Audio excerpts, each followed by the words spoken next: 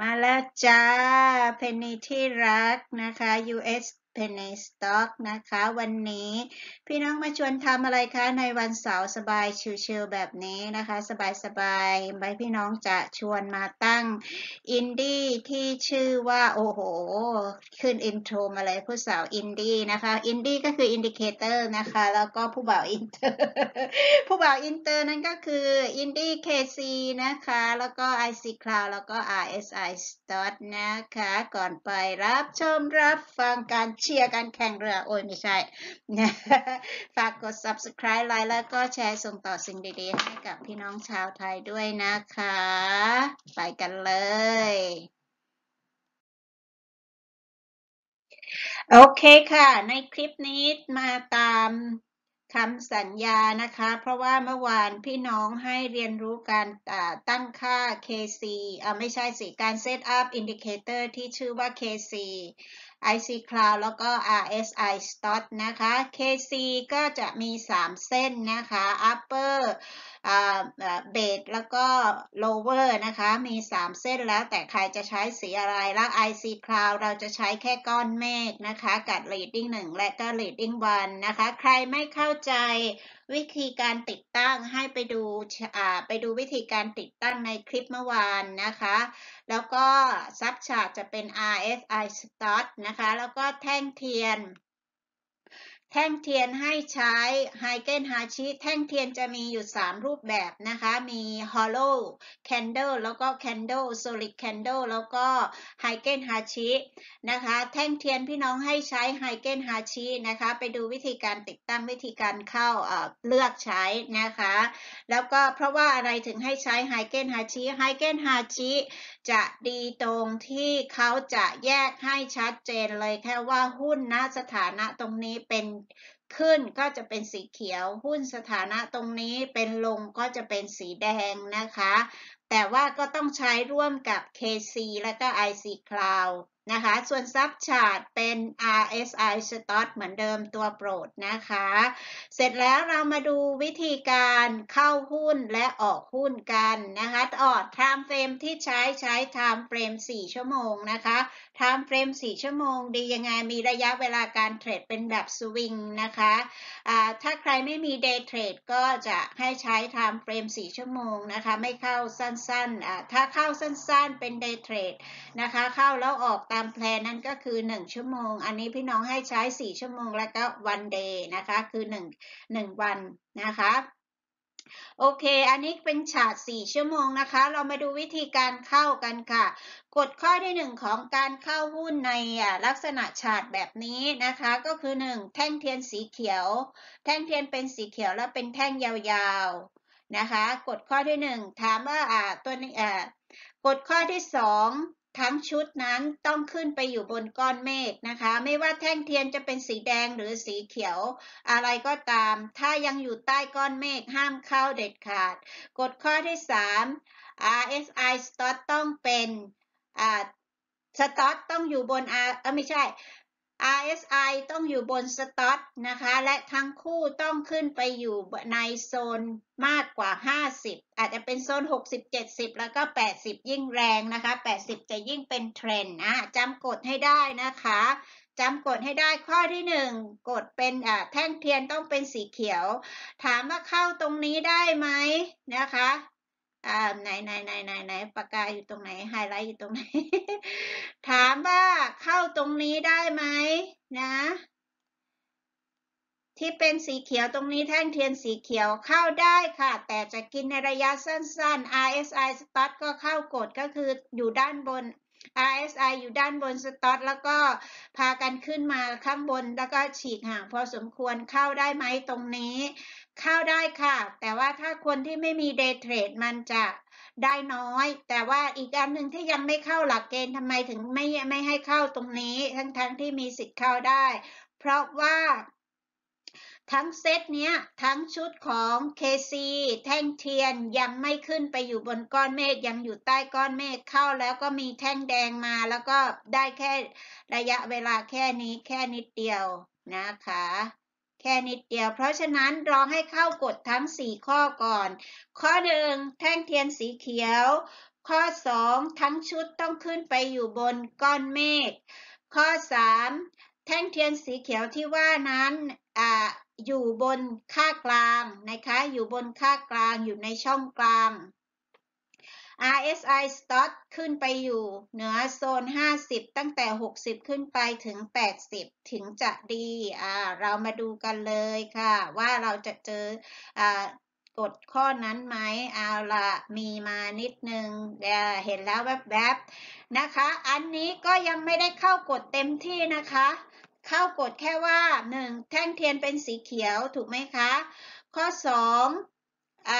ราคาหรือแท่งเทียนนั้นอยู่บนค่ากลางของ KC อยู่ในช่องบนของ KC นะคะ แท่งเทียนเป็นสีเขียว แต่ RSI Stop นะคะ RSI Stop นั้นขึ้นมาอยู่ตัดขึ้นบนแล้วก็ขึ้นมาอยู่บนโซน 50 แล้วเรียบร้อยนะคะ เพราะฉะนั้นกดตัวนี้เข้าได้แล้วก็ ทั้งหมดนั้นกำลังจะข้ามกำลังพี่น้องใช้กำลังว่าจะกำลังจะข้าม IC Cloud ขึ้นไปกำลังจะข้ามก้อนเมฆขึ้นไป ซึ่งตรงนี้เนี่ยใช้กดได้นะคะ เหมือนกับว่าเออมันอาจจะเป็นไซด์เวย์ในข้างหน้า แต่หรืออาจจะเป็นดาวในข้างหน้า แต่มันมันจะใช้คำว่าอะไรอะ่ะ ก้ากึ่งอาจจะใจร้อนก็ได้ อาจจะยังไม่เข้าก็ได้อ่าถ้าถ้าใครยังไม่อยากเข้ายังไม่เข้าก็ได้ แต่ว่าถ้ามันใกล้ๆจะสิ้นสุดวันแล้วเนี่ย เข้าไปเถอะเดี๋ยวพรุ่งนี้ก็ได้ออกอะไรถ้ามันยังไซด์เวย์อยู่อะไรอย่างนี้ก็ได้นะ อะไรพี่น้องพาใจร้อนเมื่อกี้ยังพูดเรื่องกดอยู่เลย ก็ไม่เป็นไรก็ว่าเห็นไหมว่ามันเป็นแท่งเทียนยาวขึ้นใหญ่ขึ้น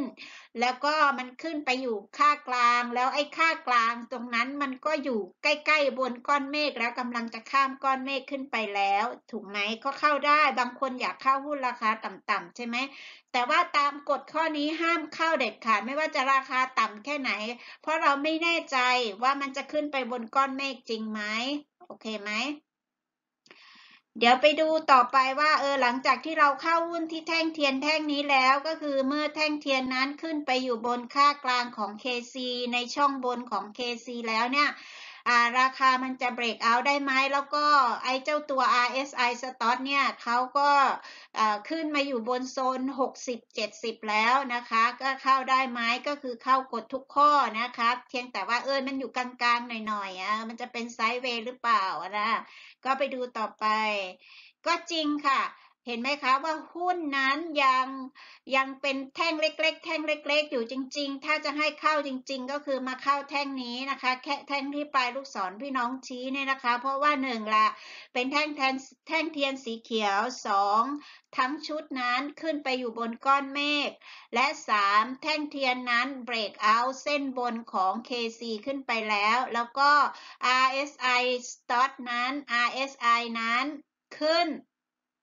ไปอยู่บนโซน 80 แล้วเหนือโซน 80 แล้ว Stoch ก็ RSI ก็อยู่บนเส้น Stoch ซะด้วย ก็เข้าได้นะคะ แล้วก็เขาก็เริ่ม break out เส้นบนของ KC ขึ้นไป นี่คือการเข้าหุ้นตรงนี้คือถูกต้องนะคะ จริงๆ แล้วตรงนี้นี่ยังไม่ค่อยถูกต้องเท่าไหร่ ถ้าจะให้เข้าตามกฎจริงๆ ก็คือต้องแท่งนี้แหละค่ะ แท่งนี้ก็คือ 1. มีแท่งเทียนสีเขียว หลังจากแท่งเทียนสีแดง 2. ราคาแท่งเทียนนั้นอยู่บนช่องบนของ KC นะคะ เหนือเส้นเบสแล้วก็ break out เส้นบนของ KC ขึ้นไปนะคะ RSI stop อยู่บนโซน 80 ซึ่งก็คือเหนือโซน 60 RSI อยู่บนเส้น stop นะคะ สถานะตรงนี้ที่ที่ปลายของ RSI stop เนี่ย RSI เหมือนกับว่าจะซ้อน stop อยู่เรามาดูแท่งต่อไปดีกว่าว่าจะเป็นยังไงช่องต่อไปอ่า เขาขึ้นมานะคะ ขึ้นมาได้นิดนึงแล้วก็เริ่มซ้อน เริ่มซ้อน เริ่มซ้อนกันแบบนี้ เริ่มซ้อนกันแบบนี้เป็นสัญญาณลงและก็สัญญาณเซลล์นะคะ สัญญาณขาย เราก็สามารถขายหุ้นตรงนี้ได้นะคะ ขายหุ้นตรงนี้ได้ ถ้าใครอยากจะขายนะคะ ขายหุ้นตรงนี้ได้อยากจะขาย เพราะว่าถ้าเมื่อไหร่ที่สต็อตตัดลงมานั่นคือเป็นสัญญาณ ลง ลงแต่จะลงถึงไหนนะคะ ยังจะเข้าได้อีกไหมเข้าได้อีกไหมเราไปดูแท่งถัดไปเลยนะคะ เราไปดูเลยว่าจะเป็นยังไงอะไม่ไปอีก อ้าวโอเคเห็นไหมว่า RSI สต็อตนะคะ RSI ตัดสต็อตลงมาแล้วก็ลงมาล่างสุดเลย ลงมาล่างสุดแต่ถามว่าตัวนี้ยังอยู่ในกฎไหมยังอยู่ในกฎค่ะ ราคายังอยู่ยังอยู่บนเส้นกลางของ KC นะคะ ยังอยู่บนเส้นกลางถึงแม้จะเป็นแท่งแดง แต่ราคายังบุดเส้นกลางของ KC แล้วก็แท่งเทียนเริ่มเล็ก การส่งสัญญาณว่ามีแรงซื้อแรงขายเท่ากันคือแท่งเทียนเรื่องเป็นเล็กๆ แต่ว่า RSI Stock เขาบอกว่าเฮ้ยมันย่อลงลึกนะแต่ทำไมตรงนี้เรายังยังยังลังเลที่จะออกก็ได้ หรือจะเข้าเพิ่มก็ได้ เพราะอะไรรู้ไหมหนึ่งราคา นะคะ ยังอยู่บนถึงแม้จะเป็นแท่งเทียนสีแดงก็จริง แต่ว่าราคานั้นยังอยู่บนเส้น KC ด้านบน และก็แค่ลงมาแตะแค่เส้นกลางเท่านั้นแล้วก็กลับขึ้นไปไหน แล้วก็ข้อที่สองก็คือ ทั้งชุดนี้ยังอยู่บนก้อนเมฆนะคะ ทั้งชุดนี้ยังอยู่บนก้อนเมฆโอเคไหมทั้งชุดนี้ยังอยู่บนก้อนเมฆนะคะ เสร็จแล้ว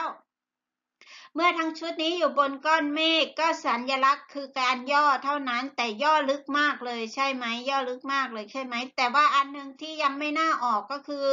ระยะห่างนะคะ ระหว่าง KC ทั้ง 3 เส้น เส้นบนกลางล่างนั้นเขาเปิดกว้างขึ้นนะคะเขาเปิดกว้างขึ้น แสดงว่ามันมันจะต้องมีแท่งยาวเกิดขึ้นนะคะ ถ้ามันมีแท่งยาวเกิดขึ้น มันก็ต้องมีแท่งยาวสีเขียวและสีแดง สลับกันน่าจะมีอะไรดีๆ สักอย่างหนึ่งเกิดขึ้น เรามาดูแท่งต่อไปกันเลยว่า สถานะนั้นเป็นยังไง เห็นไหมคะ เท่าที่พี่น้องพูดก็คือ มันจะมีแท่งยาวเกิดขึ้นนะคะ ขึ้นมาสู้กันระหว่างแรงซื้อกับแรงขาย ก็ไปก็สามารถเข้าใหม่ได้ ถ้าหุ้นนั้นลงมาแตะแค่เส้นกลาง นะคะ แล้วก็มีแท่งสีเขียวเกิดขึ้น เราสามารถเข้าใหม่ได้ หรือยังถือตั้งใครยังไม่ได้ออกตรงนี้ก็ไม่เป็นไรก็ถือต่อไปนะคะ เพราะว่ามีแท่งสีเขียวแท่งยาว แท่งสีเขียวแท่งยาว แต่ว่ามีแท่งสีแดงมาอีกแล้ว แล้วสถานะมันอยู่มันอยู่ล่างเลยเนี่ย มันน่ากลัวนะ สถานะของ RSI Stop อยู่ข้างล่างเลยนี้น่ากลัว คงจะต้องออกแล้วล่ะ เพราะว่า RSI Stop ถึงแม้จะตัดขึ้นมานะคะ แต่ถามว่ามันขึ้นไปบนอ่ามันขึ้นไปบนโซนห้าสิบได้ไหมเหนือโซนห้าสิบได้ไหมแล้วก็เนี่ยยังมีแนวโน้มโค้งลงมาด้วย อ่า อันนี้แหละคือสัญญลักษณ์ที่บอกว่าเราจะต้องรีบออกจากหุ้นตัวนี้นะคะ เพราะว่าสถานะต่อไปเป็นอย่างไรเราดูกันเลยเห็นไหมคะ รีบออกก็ได้ออก แต่ว่าสามารถเข้าเพิ่มได้ไหม ออกจากตรงนี้นี่ออก ออกออกตรงนี้นะคะหนึ่งครั้งนี่มันมากี่วันแล้วหุ้นตัวนี้ ถ้าใครยังไม่ออกก็ได้ทำไมถึงว่ายังไม่ออกก็ได้ เพราะว่าหุ้นนั้นยังอยู่บนก้อนเมฆนะคะ แล้วก็ราคายังมาลงมาแตะแค่อ่าลงมาแตะแค่อะไรคะ แค่เส้นกลางของ KC แล้ว KC นั้นก็เปิดกว้างขึ้น อ่า ถ้ามันขึ้นนะ มันก็ต้องขึ้นแรงอีกละ แต่ดูที่ RSI Stop นะคะ RSI Stop นั้นเริ่มตัดขึ้นไปใหม่อีกรอบหนึ่ง RSI ตัด Stop ขึ้นไป แต่ถามว่าขึ้นไปบูโซน 60ไหมอ่า มันก็ค่อยๆขึ้นแบบนี้เพราะมันมีแท่งเขียวแล้วแท่งเขียว ด้านบน บนก้อนเมฆนะคะอ่าแล้วก็แท่งเขียวเริ่มยาวขึ้นใหญ่ขึ้นตามอ่าการเปิดกว้างของ KC นะคะ ช่องของ KC เปิดกว้างขึ้น เดี๋ยวมาดูว่าต่อไปจะเป็นอย่างไรจริงด้วยนะคะ เห็นไหม RSI Stoch ทีเริ่มตัดขึ้นไปแล้วก็เริ่มขึ้นไปขึ้นไป แล้วก็มีอีกนะคะ มีวิมีการหัก ตรงนี้มันน่ากลัวนะ เพราะมันขึ้นแรงใช่ไหม มันขึ้นแรงจากข้างล่างเลย ขึ้นปุ๊บ ขึ้นไปเลยเห็นไหม แล้วก็มีการหักตรงนี้ อืม มันน่ากลัวละ มันเริ่มน่ากลัวแล้ว เพราะว่ามันขึ้นไปสูง มันสร้างเทรนแบบเทรนแล้วก็แท่งเทียนนั้น ยาวผิดปกติ แท่งเทียนนั้นยาวผิดปกติ จริง ๆ เวลาที่แท่งเทียนยาวๆนั้นเราชอบนะ แต่ว่า ยาวต้องไม่มีไส้ด้านบนแบบนี้นะคะ ยาวแล้วก็ไม่มีไส้ด้านบนด่างเดียวแบบนี้ไส้ด้านล่างตันนะคะ เห็นไหมว่าแท่งถัดมาก็เริ่มสั้นขึ้นสั้นขึ้น แล้วก็ RSI start ส่งสัญญาณว่ามันจะต้องตัดฟึบลงมาแน่ๆเลย ไม่ไม่มีการอ่าอ่าตัดไม่ไม่ไม่มีการมาซ้อนกัน นะคะ ถ้า RSI เริ่มมาใกล้และซ้อนกันนั้นเป็นแค่การย่อ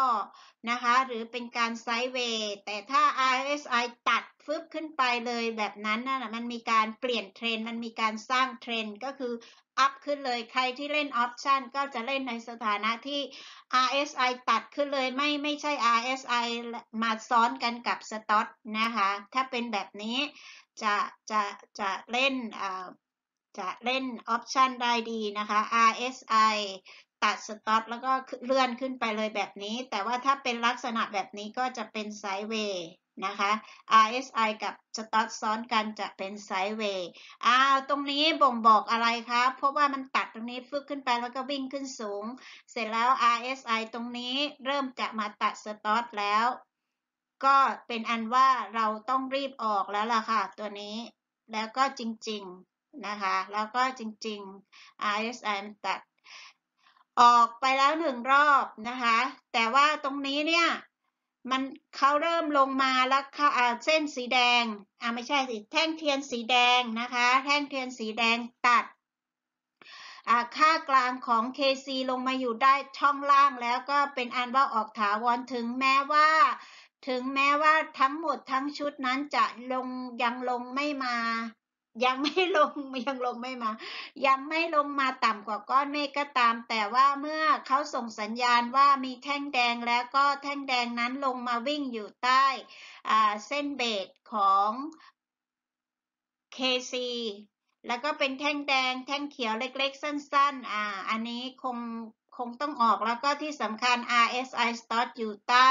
ออยู่ในโซน 20 ต่ำกว่าโซน 20 ตรงนี้ก็เป็นอันว่าเราได้ออกหุ้นตัวนี้แล้วก็รอเข้าใหม่ก็ได้เมื่ออมีจังหวะเข้าอีกนะคะ นี่อาจจะเป็นจังหวะที่เข้าอีกก็ได้นะคะอ่าอันนี้คือวิธีการใช้ KC IC Cloud RSI Start ในการเข้าซื้อหุ้นและก็ในการออกหุ้นนะคะ การเทรดหุ้นถ้าคุณเข้าเป็นเข้าถูกจังหวะ ออกเป็นออกถูกจังหวะ คุณจะไม่มีดอยเลยถึงแม้บางครั้งนะคะ หุ้นตัวนั้นจะราคาเท่าไรก็ตาม แต่ถ้าคุณดูกราฟเป็นกราฟ มันมีความแน่นอนในตัวของมันเอง ถ้าคุณเข้าใจวิธีการดูเป็น คุณจะได้เงินจากตลาดหุ้นไม่ว่าหุ้นตัวนั้นจะเป็น uptrend หรือดาวเทนก็ตาม เพราะว่ามันจะมีการซิกแซกก็ซิกแซก ซิกแซกก็ซิกแซกขึ้นเหมือนกับพี่พี่น้องพูดว่าถ้าเขาขึ้น 1%แล้วเขาลง 2%ไอ้จังหวะ 1%นั้นถ้าเราเจอ เราก็ออกก็ได้เราก็ได้แล้วก็เข้าจาก 0%ขึ้นมา 1%เราก็ออกที่ 1%แล้วก็เขาจะลงไป 2%เราก็ไม่ได้อยู่ในตลาดกับเขาแล้วถูกไหม เพราะฉะนั้น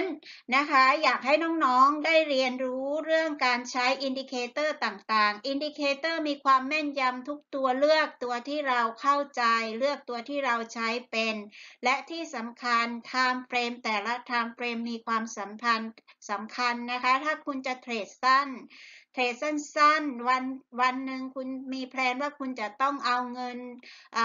สองร้อยเข้าพอร์ต คุณจะใช้เงินทุนเท่าไหร่ แล้วคุณจะไปซื้อหุ้นตัวไหนที่มีการขึ้นสมมุติว่าถ้าคุณซื้อหุ้นตัวละหนึ่งเหรียญสมมุติคุณซื้อซื้อหุ้นตัวละหนึ่งเหรียญแล้วหุ้นตัวนั้นขึ้นมา 20%ก็แสดงว่าราคา นั้นจะขึ้นมาที่หนึ่งจุดสองใช่ไหมคะ ถ้าขึ้นมาสองเปอร์เซ็นต์อ่าอ่าไม่ไม่ไม่ได้คำนวณแต่ว่าขอให้ดูตามแพลนนะคะ ว่าเราจะใส่เงินเท่านี้ แล้วก็เราจะออกด้วยแพลนของเราไว้แค่ 200เอ่อเมื่อได้กำไร 200 เราก็จะออกทันที ถ้าคุณมีช่อง Day Trade ก็จะออกมา แค่นั้นคุณก็จะปั้นเงินเข้าพอร์ตได้ทุกวันนะคะ ถ้าคุณไม่โลภก็คือคุณเอาแค่ 200 แล้วก็อย่าจำกระโดดเข้าไปในหุ้นที่วิ่ง ก่อนที่จะกระโดดเข้าไปในหุ้นที่วิ่ง ให้คลิกไปดูที่ time frame 1 1 day 2 day เอ่อ1 1วัน 4 ชั่วโมงและ หนึ่งชั่วโมง พี่น้องคิดไม่ออกขอโทษ เช็คให้ครบทั้งสาม time frame และก็ถ้าทั้งสาม time frame มี time frame ใด time frame หนึ่งอยู่ใต้ก้อนเมฆอันนั้นแหละคุณจะเข้าไปดอย ถ้าคุณเห็นหุ้นตัวใดตัวหนึ่งวิ่ง เพราะฉะนั้นเวลาที่คุณจะเข้าหุ้นสักตัวหนึ่งให้เช็คให้ครบทั้งสาม time frame และสาม time frame นั้น จะต้องอยู่บนก้อนเมฆเสมอ ถึงแม้สอง time frame จะอยู่บนก้อนเมฆ ถ้าคุณเข้าไปแล้ว คุณเข้าไปหาจุดออกที่ time frame หนึ่งได้เสมอ เดี๋ยวจะมีคลิปสอนวิธีการออกหุ้น ถ้าสมมุติว่าหุ้นนั้นเป็น trend down นะคะ เราจะไปหา PT point ของเราได้ตรงไหน ถ้าหุ้นตัวนั้น time frame day ยังอยู่ใต้ก้อนเมฆยังไม่ขึ้นมานะคะ โดยส่วนใหญ่แล้วหุ้นราคา ต่ำกว่า 1 นะคะ ต่ำกว่า 1 ดอลลาร์นั้นส่วนมากจะเป็น trend down เพราะว่าเทรนดาวนั้นเขาจะแล้วก็จะมีการปั๊มให้หุ้นขึ้นมานะคะ ทุกวีคทุกวีคทุกวีคทุกวีคถ้าคุณเข้าไปดูนะคะโอเคค่ะ คลิปนี้มีไว้เท่านี้มีถ้ามีคอมเมนต์อยากถามอะไร คอมเมนต์ถามมานะคะ พี่น้องจะได้ช่วยตอบปัญหาให้จะได้รู้จะได้เข้าใจด้วยกันให้ตรงกันนะคะ โอเคค่ะ ยังไงก็โชคดีนะคะ ตั้งใจเรียนทำความเข้าใจกับ indicator ทุกตัวที่พี่น้องนำมาสอนนะคะ ปั้นพอร์ตให้ได้ทุกวันวันละร้อยสองร้อยก็ยังดีกว่าเสียวันละร้อยสองร้อยเพราะฉะนั้น cut loss ที่ ตรงตั้ง trailing stop เสมอนะคะ นี่คือสิ่งที่พี่น้องสอนฝากกด subscribe like แล้วก็แชร์ส่งต่อสิ่งดีๆ ให้กับพี่น้องชาวไทย เช่นเคยนะคะ